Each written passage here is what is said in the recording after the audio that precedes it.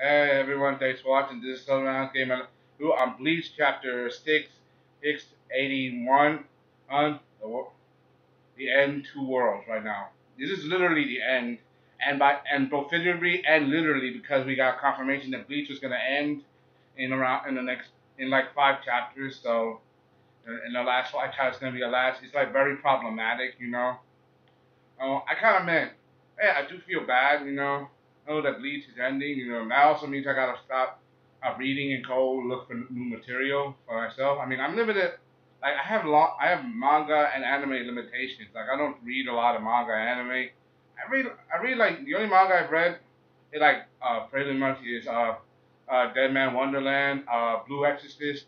You know, up to this, up to what, like a long ways off after the ending. Uh, ending uh, Attack on Titan, Bleach, Naruto, but I never read the whole series of any of them, just chapters, you know. Uh, but I can get into like maybe I can get into probably Gintama, you know, maybe you you know, you know other animes uh, and manga as well. Anyway, let's get started. You know, oh Renji, how Renji just goes straight up attack Bach as his back's turned. Uh, you can't attack Yhwach. I mean, he has to probably see the future. He can rewrite the future. How he breaks his Zanpakuto, like it was nothing. I mean, it's Bach. I mean, I mean breaking the Zanpakuto so easily, you know, that isn't that. And, and for him, you know, I him, you know, oh, I, I saw it coming. It's it was dumb obvious right away. You know, seeing it, you know, you know, and especially with now that they know that Bach has the ability to read the future and rewrite it, you know, Rukia, uh, even though Rukia Renji they arrive, I, you know, it's definitely very crazy. Crazy seeing how this all is, you know. They're like at a low point.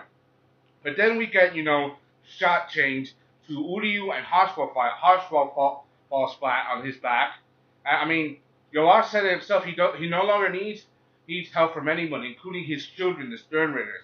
So basically, he's going to kill them all and stuff up all their strength, you know.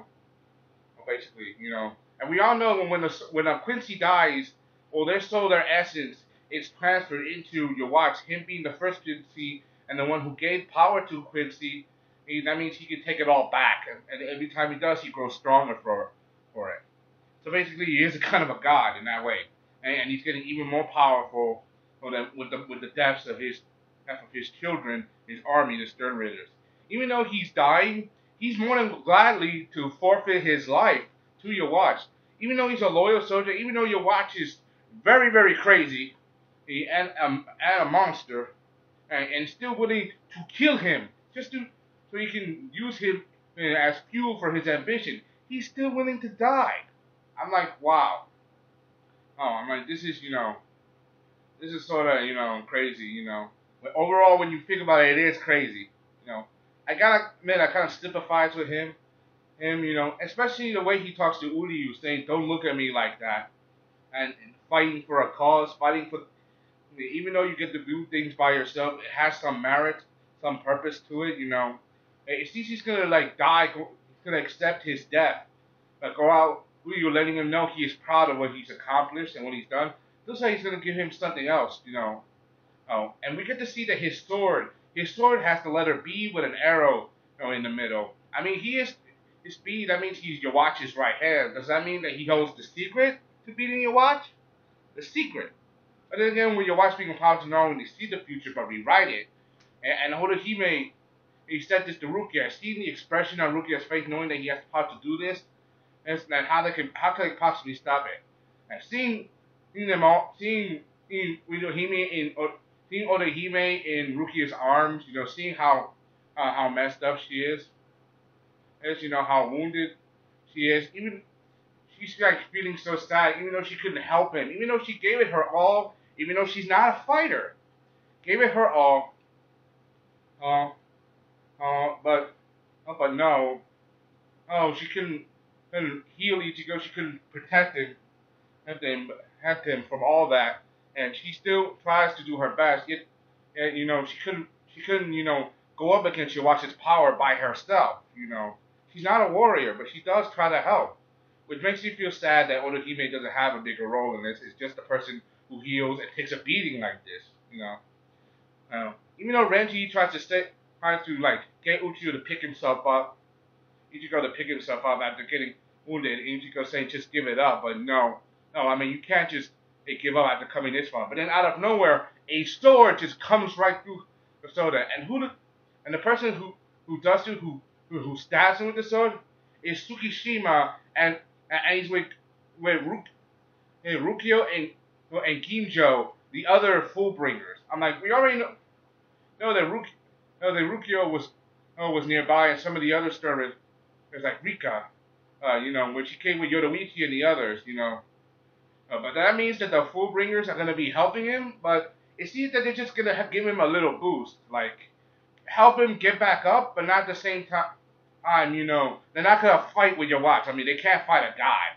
Even though they have a brain powers to see the soul and manipulate souls and any object or whatever, if you watch the Fullbring arc, or at least read it, they, they can't go up against Yhwach, you know. That's that's proven. That's been proven. So yeah. That's been proven. So they're gonna give him a boost, and he even tells Orihime her power is the ability to, to reject transmigration and to do the that do the rules of nature that's been set by God. The only reason why she couldn't heal Ichigo fix his sword at the time because Yhwach was present, and his power to manipulate the future and alter things kept her from doing it. That means even with her power, she can undo all the damage, heal his sword, and maybe even get his powers back up to full speed. Even that means that means that there is still a chance they can win and not go out oh, and and and not go out. Oh, you know, just be just eating the pavement all the time. You know, that is obvious. I don't want to see Ichigo just get stomped everywhere. Yeah, so seriously. So that's all I say. I say, you know. Yeah. So overall, I I like I give this project I give this a good a, a like because we didn't I didn't know the Fullbringers were coming, but this was a huge surprise. Right, so oh that's good news. The bad news is you know Yhwach is already you know on its way to has left and he's going to make his plan to destroy the world uh, and cause chaos and destroy everything and rebuild the whole world oh, in his image. You know, basically they have they're in a like a lose lose win situation. And so I just hope they I just hope it, ends before it's not too late and ends in a in a, in a good way. Hope you enjoyed. Thanks for watching. This is Tony Adams. Give my latest review. Um, Bleach chapter 681. Hope, you enjoyed. Thanks for watching. Color Sky. Bye. Please don't let this just be the last five chapters. I hope it doesn't end like just five chapters, just oh incomplete. Bye.